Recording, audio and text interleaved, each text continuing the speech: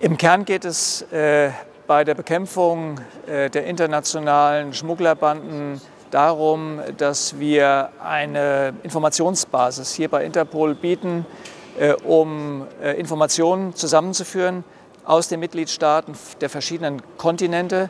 Äh, es geht darum, diese Informationen zusammenzuführen, zu analysieren und sie zurückzugeben an die Mitgliedstaaten als Grundlage für grenzüberschreitende Operationen.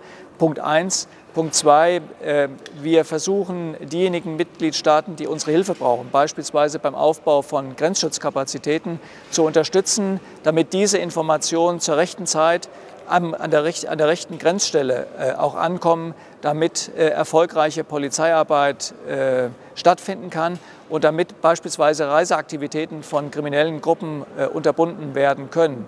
Wohlgemerkt, diese Aktivitäten zielen auf die Gruppierungen, die organisierten Gruppierungen, die mit dem Leid und der Verzweiflung von Migranten enorme kriminelle Profite machen. Diese Operationen zielen nicht gegen die Migranten selbst. Ich denke, das ist einmal wirklich ähm, Interpol ähm, äh, zur Verfügung zu stellen als eine globale Plattform, wo die Experten zusammenkommen. Das ist Ziel auch dieses taktischen Treffens hier in Lyon heute und morgen, wo Repräsentanten von über 50 Staaten zusammenkommen, Informationen austauschen, ihre Erfahrungen austauschen, Vertrauen bilden zueinander und über Möglichkeiten auch diskutieren, die grenzüberschreitende Zusammenarbeit zu verbessern.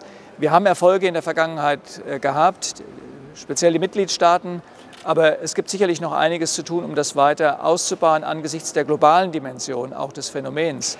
Zweitens, wir bieten 17 Datenbanken, die wichtig sind, etwa zur Identifizierung von Kriminellen, von Netzwerken, die wichtig sind zur Identifizierung von Schmuggelrouten, von Arbeitsweisen, unter anderem aber auch was das Verschieben von kriminellen Erlösen äh, anbelangt. Wir haben Fahndungsnotierungen, die wir weltweit an alle 190 Mitglieder steuern können zur Unterstützung von, von Fahndungen gegen identifizierte äh, Kriminelle.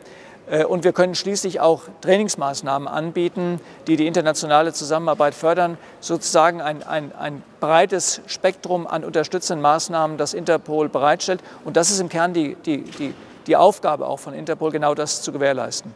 Ich glaube auch, dass hier wieder die Zusammenarbeit mit den Mitgliedstaaten von, von großer Bedeutung ist, dass wir sozusagen permanent die Informationen über Erkenntnisse, die in den Mitgliedstaaten gewonnen werden, austauschen, dass wir sie zusammenführen, dass wir sie anreichern mit Erkenntnissen, strategischen Erkenntnissen, die von anderen internationalen Organisationen erzielt werden, dass wir sie zu einem Lagebild ähm, äh, aufbereiten, das dann genutzt werden kann, um grenzüberschreitende Operationen zu koordinieren. Und diese Koordinierung ist auch Aufgabe äh, von Interpol, Mitgliedstaaten zusammenzuführen, die Polizeien zusammenzuführen und sie in, der Lage, in die Lage zu versetzen, äh, gegen diese sehr dynamisch vorgehenden kriminellen Gruppierungen äh, erfolgreich vorgehen zu können.